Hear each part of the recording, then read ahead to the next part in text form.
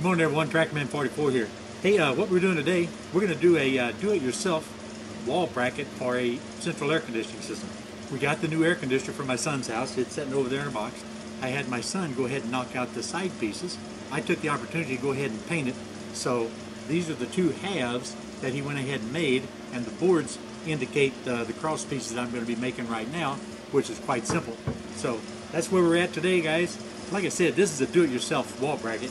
You don't have to make it near as heavy as what this is. Uh, my gosh, this will support a phenomenal amount of uh, amount of weight compared to what that little central air conditioner is going to weigh. But it doesn't matter. You can uh, go and buy your materials and everything at whatever supply house you have, uh, or Home Depot, whatever. But I prefer to use scrap material, and we just build out of whatever we have in stock.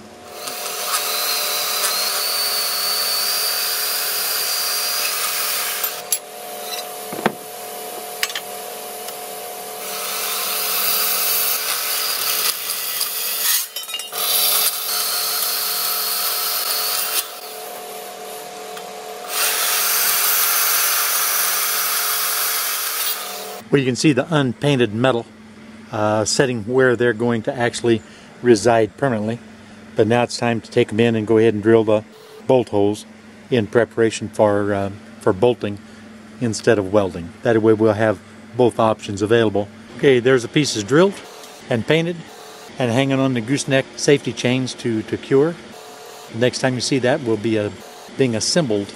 And speaking of assembly at the job site, if you look close, you can see three holes, one up the top and then two underneath the cross brace to, uh, to give ease for access of the rotor hammer into the concrete wall.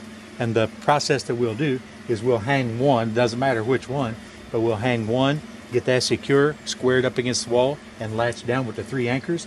Then we'll level with a four foot level across to the second one, get the proper spacing, and then go ahead and shoot those in with three 3 eighths anchors heavy wall anchors for the uh, concrete foundation wall. So here you have it. Here's the basic rundown, the basic layout, and the basic procedure that I go through and have gone through many times in the past on building these things out of either new material or scrap material uh, for the job site. If I'm doing them for myself, for my relatives, family, whatever, uh, it's all scrap material. But whenever I was doing it commercially and doing it, you know, for customers, it would all be new material. Regardless of how heavy you build it, it, it, should be substantial enough, you know, to hold that. And a lot of times because they are up so high, I don't mind them being just a little bit on the heavy side, simply because many times whenever you're servicing these, you're standing with one foot on a six foot ladder up four or five steps, and the other foot's going to have to be resting somewhere on this bracket, or you're going to have to be laying belly first over the air conditioner in order to get in to work on something. That having been said, you understand the need or the desire for myself to build them a little bit heavy. Well, I'm over at my son's house. We're getting ready to go ahead and, and uh, put those brackets on the wall. It's going to be a little aggravating to work around the, uh, the, existing air conditioner, but we need to leave this in place until we get the new one set on top so I can recover the refrigerant um, and then go ahead and connect the refrigerant lines, do an evacuation, and then go ahead and recharge the, uh, or, or turn loose the new system's charge, and then go ahead about the business of, of checking it out and all that stuff. Uh, the first thing you got to do whenever you're putting up these brackets, of course, is decide where you want to put it. And what I've done, I've taken my level and I've drawn a level line across here. But that way we can get them reasonably close to, uh, to be in the same elevation. First thing we're going to do is get this thing up there and get one hole marked to the top.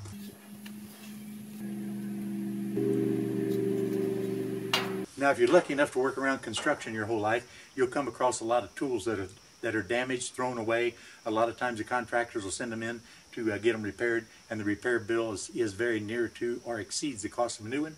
So you end up with lots of cool stuff. This particular one here was a hammer drill that was actually broken in half and uh, they discarded it. I brought it home, put it back together and then taped it in place with some good old electrical tape. And uh, so far, I've been using it for about 10 or 12 years and it's uh, just doing fine. I selected just a standard um, 5 16 uh, sleeve anchor, which takes a 3 8 inch hole. Once you decide what you want, you go ahead and measure for the depth that you need. This here says inch and 7 8 I like to add just a little bit to it uh, to give just a little bit of room for the powder that's going to accumulate that you're not going to get completely out of the hole, especially if you don't have a means to blow with. So at that point, now you know you want 2 inches, essentially. Measure down on your drill bit and go ahead and put you a, uh, a ring of tape around at the 2 inch level. Now you're ready to go back to business of drilling your hole.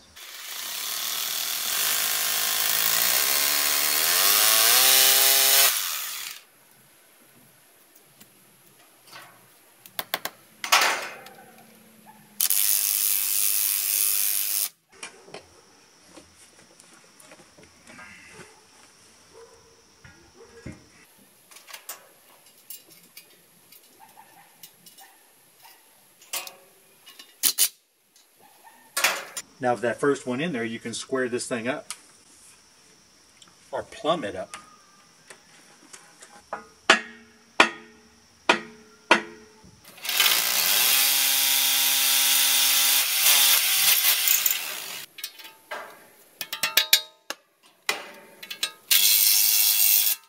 Now if it turns out that it's not perfectly level this way right here, you just loosen those a little bit and slip another washer in behind or a little bit of a, a shim in order to cock it this way or that. Whether you need to put it at the top to tilt it down or at the bottom to tilt it up. So let's see how close we are. Well, it's in the bubble. So that's a good thing. The second one is never as easy as the first because you have a specific dimension now that you have to work to, and that dimension being the width, especially if you have pre-made pieces that have to bolt together to hold this thing uh, in parallel.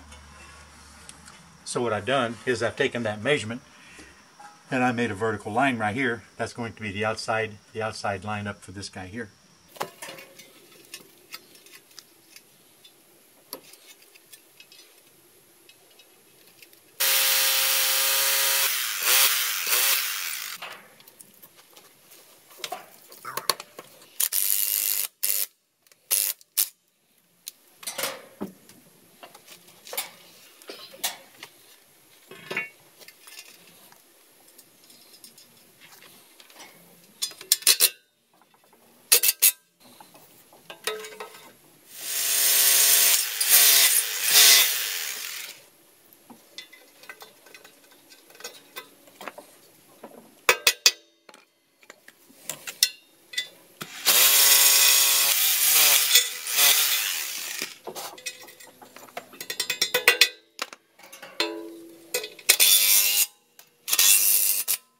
Now all I have to do is get out of here.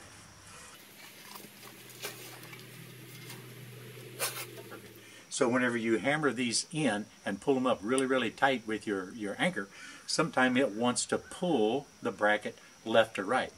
Okay? And when that happens, you have to pry everything back apart in order to fit this. I had to pry this one this direction here about, about an inch, inch and a quarter in order to get it to come in. But let me tell you what you do if you're like me and forget your two foot square back at the shop. Just to check and see how square it is, what you can do is use the multiples of 6, 8, and 10. So in this case, because it's kind of tight configuration here, uh, 6, 8, and 10 was only going to measure up, you know, just a, a little bit here. What you can do is you can go 12 and make a mark right here at 12 like you can see and then 16 because multiples of 8 times 2 is 16 and then 10, of course, is going to be 20. So if you're square, you measure from this mark right here to the same side of the rule over here to your mark right on the, and I am at 20, absolutely perfect, 20 inches. So that means that 6, 8, and 10 measurement guarantees that this guy's perfectly, perfectly square with the foundation. Got to leave something for my son to do. So this little cross piece right here, that's going to go back behind the condenser I'm going to let him go ahead and drill these two uh, 3 8 holes and then mount that back there. Let him drill that by hand. But first, I guess maybe we probably ought to check and make sure it's going to be substantial enough. If it's not going to hold a silly little central air conditioning condenser, now's the time to find out. Well, I think it'll hold adequately. Uh, I weigh a heck of a lot more than any little old two and a half or three ton central air conditioner. And you know what? This Tractor Man 44 and I'm out of here, guys.